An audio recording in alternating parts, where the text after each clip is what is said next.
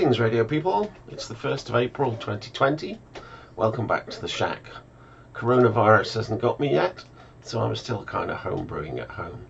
The um, recent projects that we did, the recent videos, uh, involved RF measurements, they involved uh, forward and reflected power measurements, directional couplers, lots of those kind of topics. We also did something with DDS, frequency generation, in the BitX. Um, and we've done a few things like that in the past. Seemed a fairly natural progression to put all these bits together to try and make an antenna analyzer. So, so by that I mean a standalone device that will allow you to check the SWR of your antenna systems. Now, having a look on the internet for an Arduino based antenna analyzer, K6BEZ's call sign comes up here, there and everywhere. He's clearly done a lot of great work in this area in the past. And this piece of electronics that you can see on the screen, the schematic you can see on the screen, is pretty much from his original design. I've made one of these and I'll show you what mine looks like in a minute. The only thing that I've done here is because my um, my software is running on this blue pill on the STM32, that means my VCC values are 3.3 volts. So I've made a few changes to the op amp resistor so that the gain uh, fits better on that kind of power supply and that kind of output volume.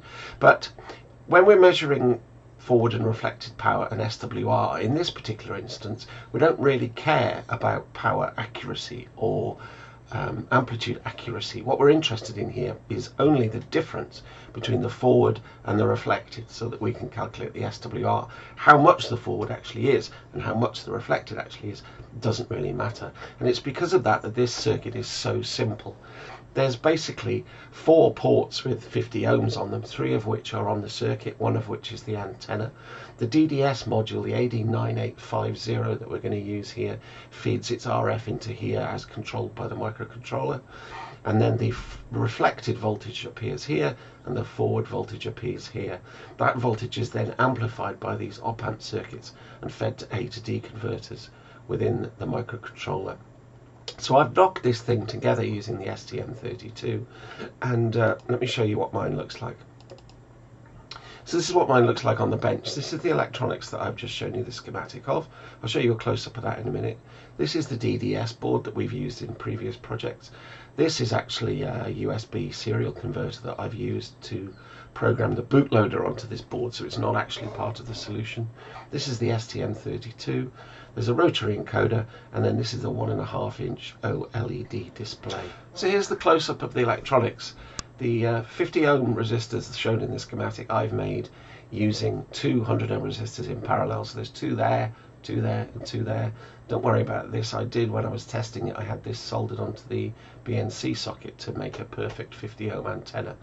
Uh, these are two germanium diodes. I don't know what they are. I just found them kicking around in my junk box. Anything like an OA90 or uh, anything equivalent to that would do nicely, I would have thought. And then here is the MCP 6002. This is a um, an operational amplifier of two uh, two op amps in one package and you can see the resistors and the bits and bobs around there. So the reflected and forward power come in from the diodes here and here, and then the orange and the yellow wire that you can see are feeding off to the analog inputs of the STM32 microcontroller. This piece of coax you can see here is the RF feed from the DDS. It's really simple display. Now, I've got a commercial um, antenna analyzer. It's by Rig Expert. This goes up to 170 megahertz. So this is something that this hobby one certainly won't do. This will only cover HF with this particular DDS. But let's see how they compare. So I connected my 40 meter dipole to my commercial antenna analyzer and this is the results that I get so I don't know why it's chosen to put the scale up to 10 but you can see that the SWR starts right at the bottom in the CW section of the band right down at roughly 1 point something to 1 and climbs to over 2 so nearly 2.2 or thereabouts that's what my commercial unit has done. And then the homebrew one that we've just knocked together gives me this result here. So it's pretty spot on compared to the commercial one. I've tried it on a few antennas and the results seem really, really good.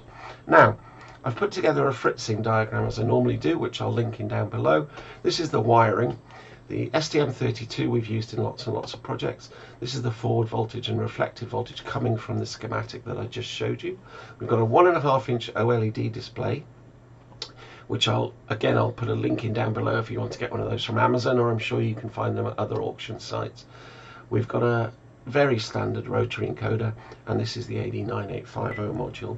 Now as far as the software is concerned I started uh, with an Arduino sketch by somebody called Dr. Phil.